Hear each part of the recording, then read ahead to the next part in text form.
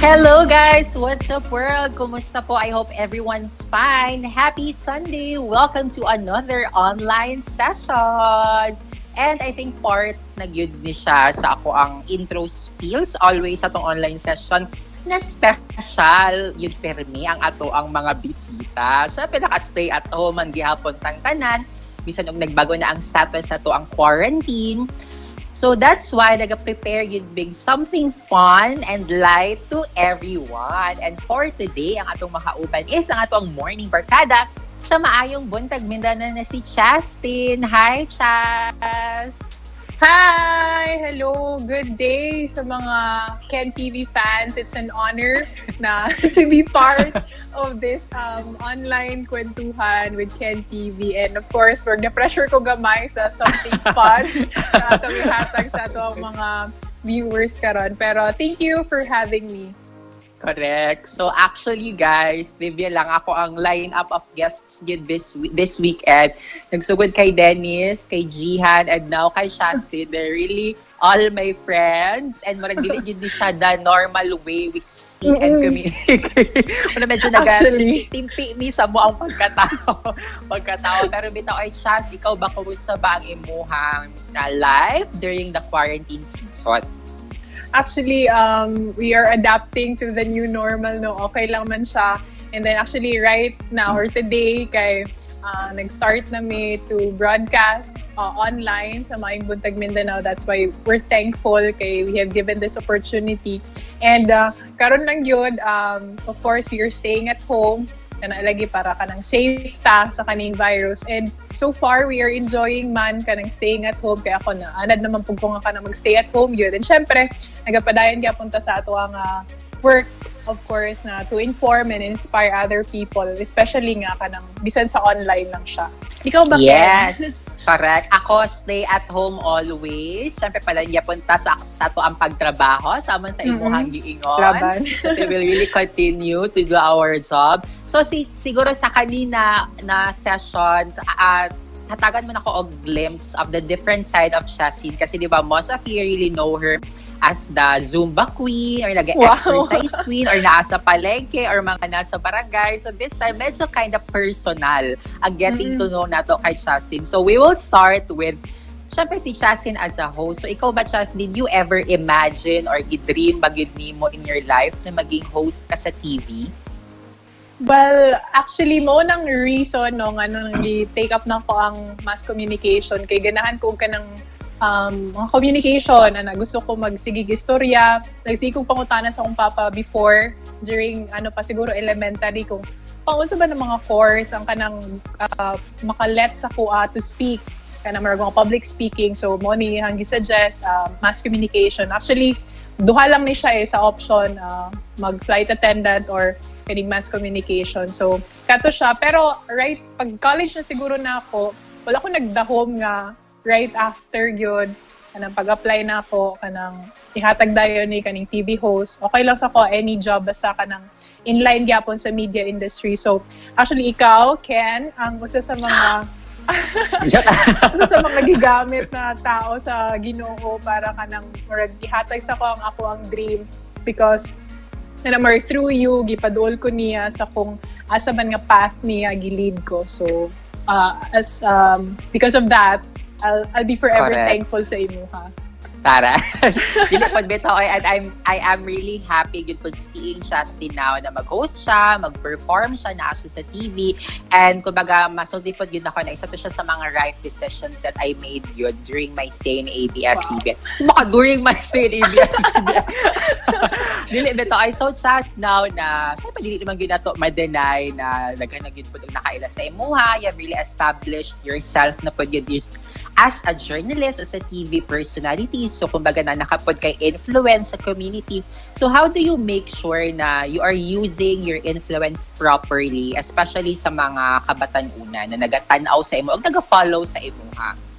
Well, actually, even before man nga kanang wala pagid ko diri sa kaning ayingon ani nga industry no kaning sa media industry kanang I have always kanang kept my mo sa ba my personality na ingon ani jud ko since nagdako man ko sa kanang probinsya, um, natudluan ko sa ako ang family on how to kanang act well or to do well, especially ka in, in front of public gihapon. So, um, murag nasanay na lang siya. Actually, wala man ganin ako ginatanaw akong self nga kanang dagan na kailaw sa mo. Kanang matingalan na lang ko kanang naay mag na ako sa public na ay mag hi, mag kanang mag uh, ano sa ko, magpa-picture ingon na kanang dili pa gid ko used sa mga ingonana ng mga butang pero um, siguro kanang influence lang nimo is kanang to do kung unsa ba gyud ang tama.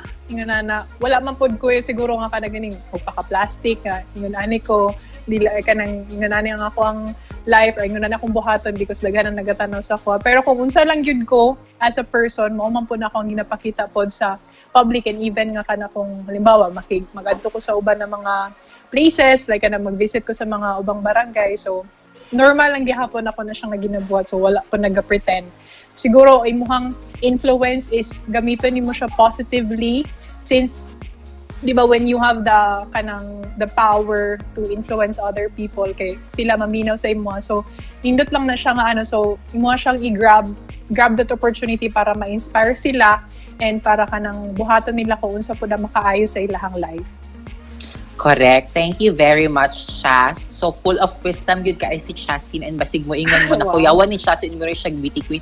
Yes, beauty queen yun na si Chasky.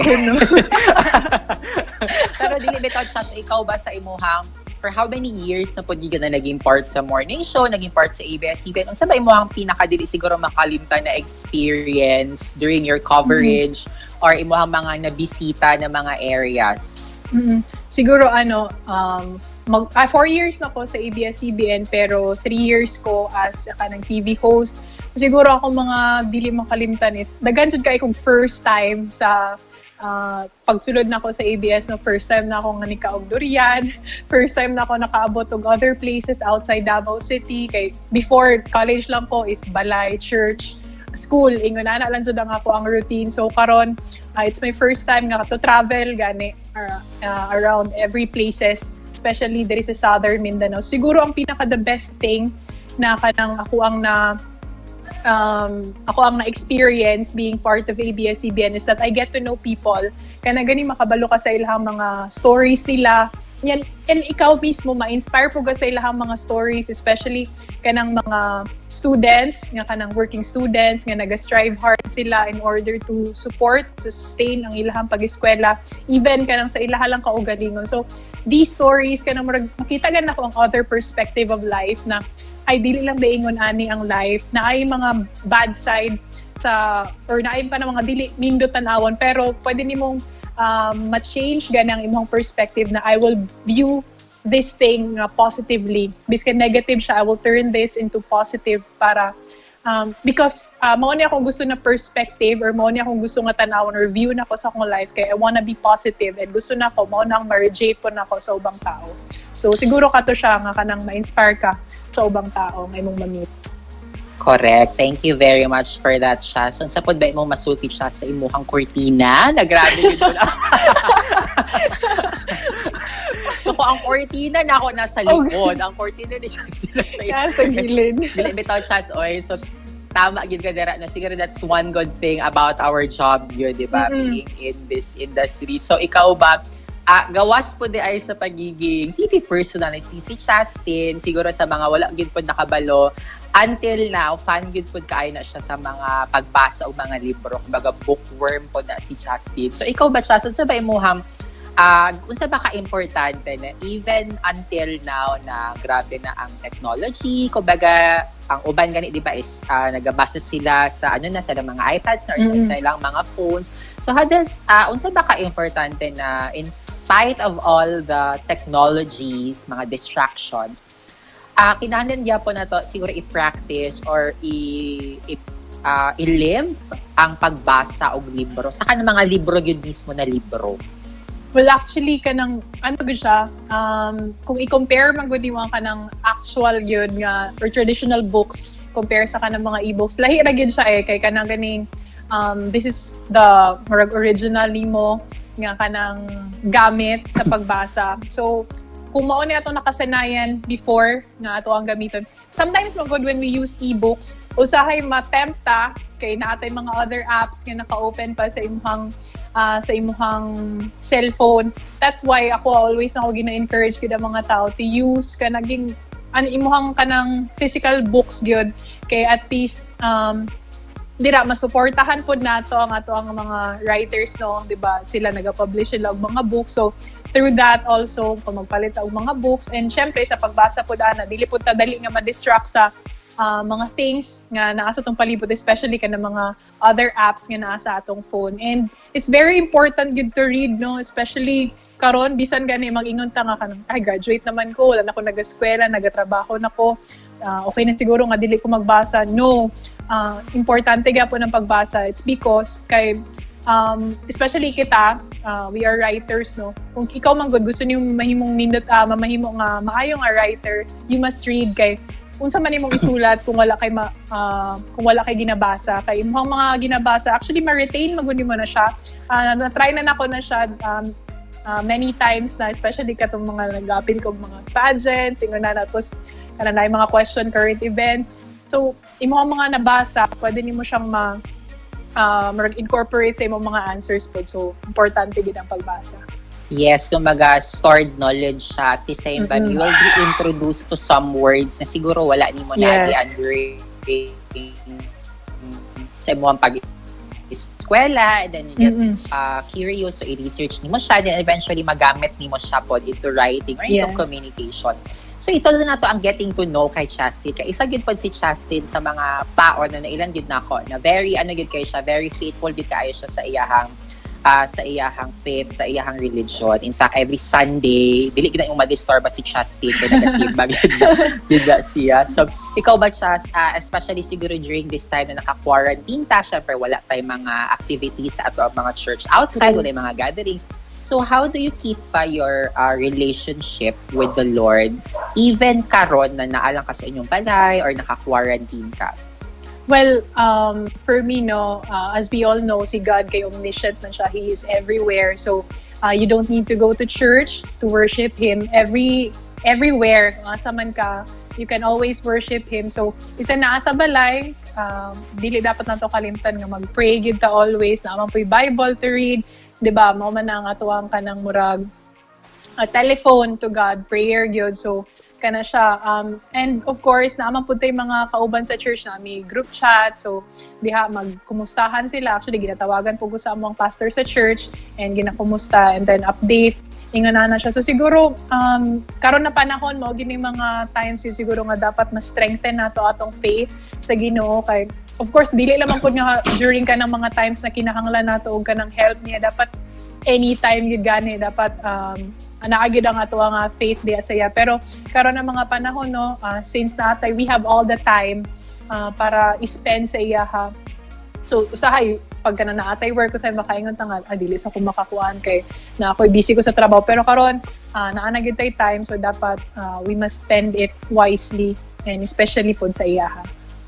Correct. And finally, Chas, na ay mga single ladies na nagtanaw mm-hmm. sa ato akaron sa imuhang message sa ilaha na not to rush things, especially about love. Kasi 'di ba, let's admit this, during this quarantine season, akita ng mga single, 'di ba, at some point ni abot gid sa stage or sa level na hala unta naapoy sa mo na mag-check on me, naapod ko ka video call aside sa sa akong family members and friends. Hala unta oy so on and so forth oy na ko'y partner and all. Hala oy nagka ng COVID na lang wala pagyapon ko'y uyab. So ano ba kay mo ha?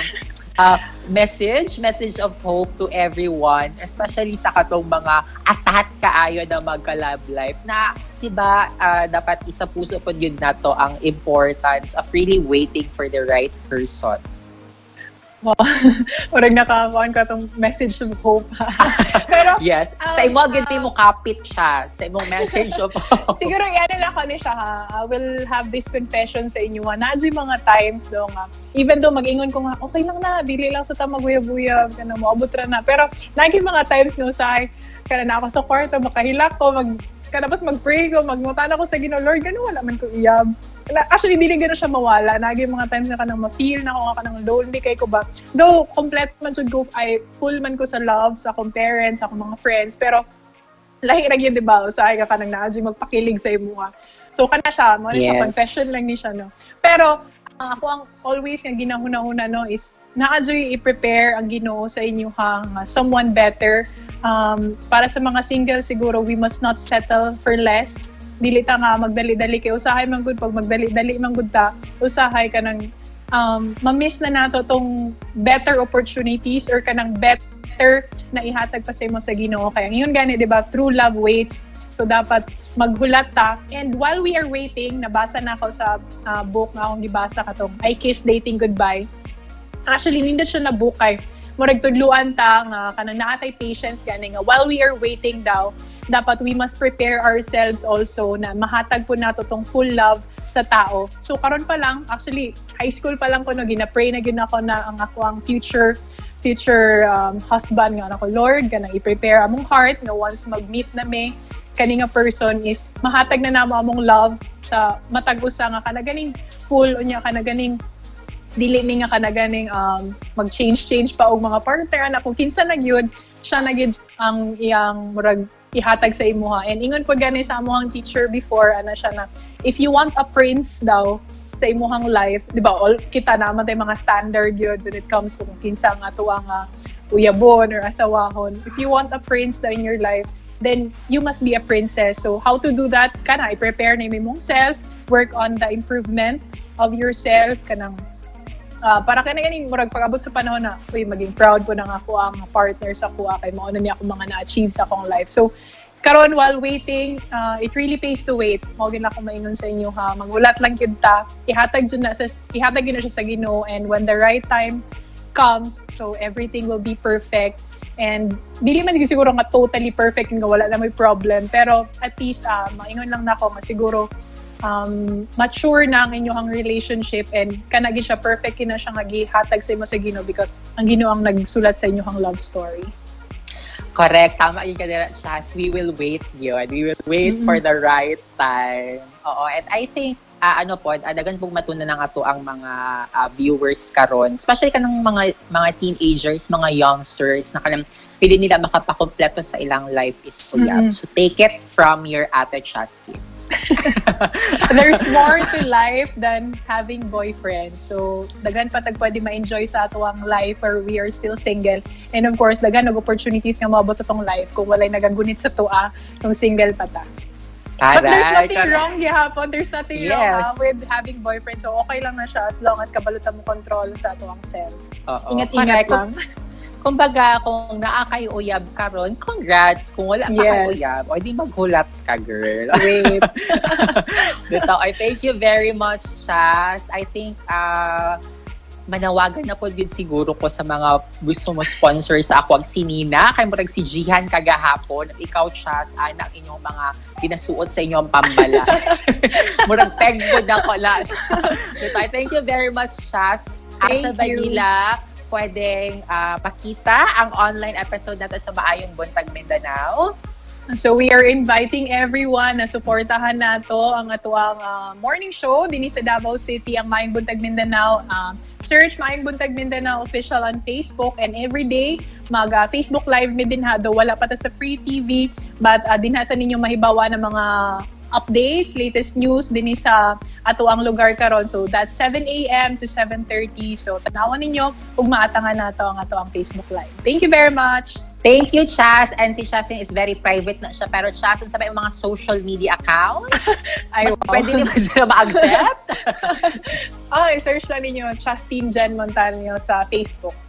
Ayan. Thank you very much, Chaz. Thank you. For sure, daghan kaayo og natunan na nga to ang mga viewers sa imong experiences and sa imong mga advices sa ila. And for sure, na curious na pud yun sila kung asa nimo nagipalit ang inyong cortina.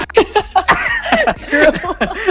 With our Chaz, thank you very much, Chaz. See you sa thank outside you. world. Wow. And thank you guys for watching. Follow us on Facebook, that's Ken TV, and on YouTube, Ken TV.